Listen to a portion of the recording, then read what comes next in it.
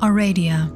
She was the daughter of a good and powerful deity named Diana, and Lucifer, her brother, the most powerful of the devils. Lucifer is the god of the sun, moon, and light, whose handsomeness was overwhelming, who was so proud of his beauty, and who, for his pride, was driven from paradise. From her birth, Aradia is destined to become the messiah of witches. Aradia lives in heaven, but then is sent to earth by her mother Diana to teach the arts of witchcraft, especially poisoning and malevolent acts against oppressors. And thou shalt be the first of witches known, and thou shalt be the first of all in the world. And thou shalt teach the art of poisoning, of poisoning those who are the great lords of all. Thou shalt make them die in their palaces and thou shalt bind the oppressor's soul with power.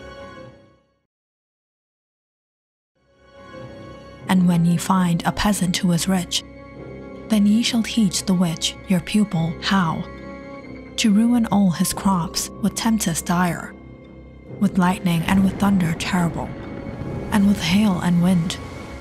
And when a priest shall do you injury by his benedictions, ye shall do to him double the harm and do it in the name of me, Diana, Queen of Witches all. According to the legend, Aradia taught witches and gypsies about spells and charms. She taught peasants how to perform magic to be used against the upper classes, and specifically against the church. Aradia became the first of Earth's witches, and she promised her students that ye shall all be freed from slavery, and so ye shall be freed in everything. When Aradia's task is finished, Diana recalled her daughter to heaven and gave her the power to grant the desires of the Martius witches who invoke Aradia. Such requests include success in love and the power to bless friends and curse enemies, as well as to converse with spirits, to find hidden treasures in ancient ruins, to conjure the spirits of priests who died leaving treasures, to understand the voice of the wind, to change water into wine, to divine with cards, to know the secrets of the hands, to cure diseases, to make those who are ugly beautiful, to tame wild beasts. The invocation for Aradia is given as follows Thus do I seek Aradia, Aradia, Aradia. At midnight, at midnight I go into a field, and with me I shall bear water, wine, and salt I bear water, wine, and salt, and my talisman, my talisman, my talisman, and a red small bag which I ever hold in my hand. Condentro, condentro, sail with salt in it, in it. With water and wine I bless myself. I bless myself with devotion to implore a favor from Aradia, Aradia. And so was the story of Aradia written by American folklorist Charles Godfrey Leland in his 1899 work Aradia or the Gospels of the Witches. When we look into ancient history, sometimes the line between goddess and witch or witch and saint is very thin. And one example of this confusion is the legendary story of Aradia. To some, Aradia is the daughter of Lucifer and Diana, queen of the witches, and the goddess of the moon. And to some, she was an actual historical figure who led a group of Diana worshipping witches in the 14th century in Tuscany, Italy. That figure was called Aradia di Toscano. A woman whose life has been explored in neo pagan and folklorist accounts of ancient myths and legends. Aradia's story became popular with the growth of Wicca and other neo pagan traditions in which she is often presented as an important deity and her character appears in many of their books. However, her origins are not so obvious. In fact, it seems that there are still more questions than answers related to this mysterious woman. Charles Godfrey Leland's book Aradia or the Gospel of Witches is a text which is based on the old knowledge of pagan witches from Tuscany, Italy. According to Leland, his book is based on a text he received from a woman named Maddalena, who lived in Tuscany. This account of Aradia is said to be created from ancient Etruscan mythology.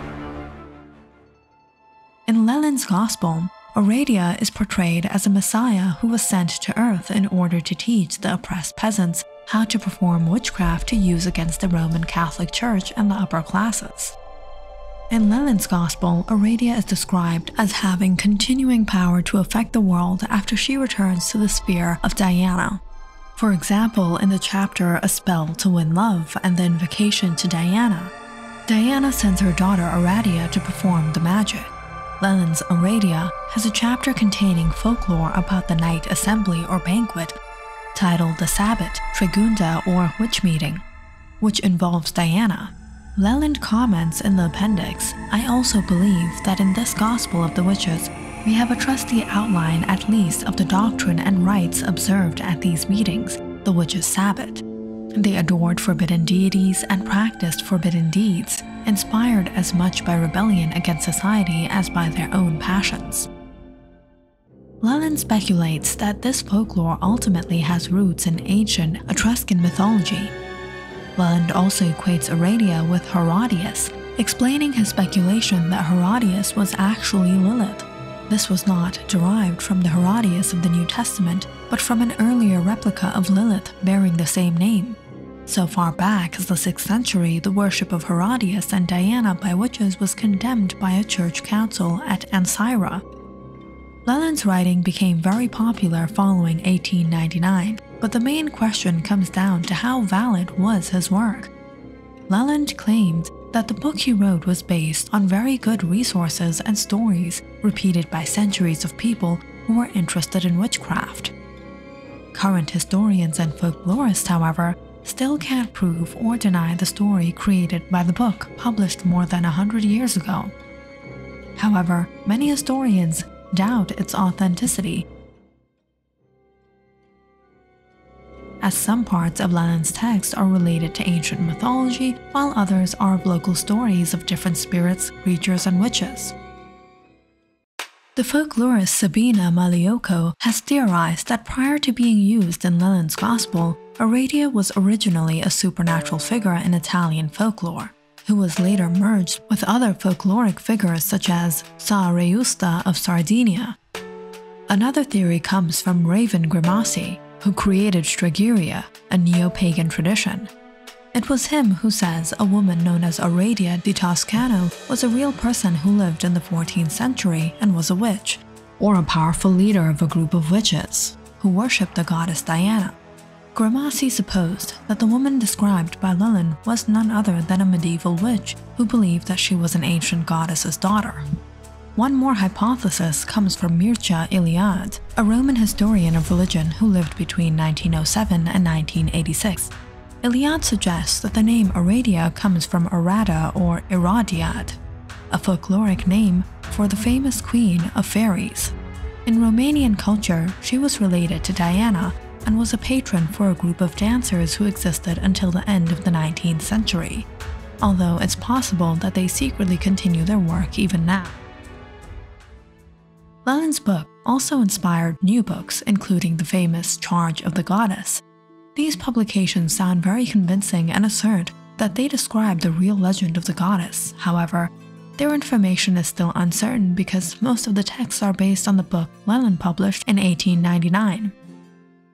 The truth behind Aradia's story is mixed with myths and legends, and it created a monumental book which inspired a new life in pagan beliefs. Charles Godfrey Leland's Aradia became one of the central figures of modern pagan witchcraft revival, to the extent that various forms of neo-paganism, including Wicca and Stregheria, believe she is the daughter of Lucifer and Diana and is an actual deity. If you liked our video, don't forget to subscribe and follow our channel for more videos like this one.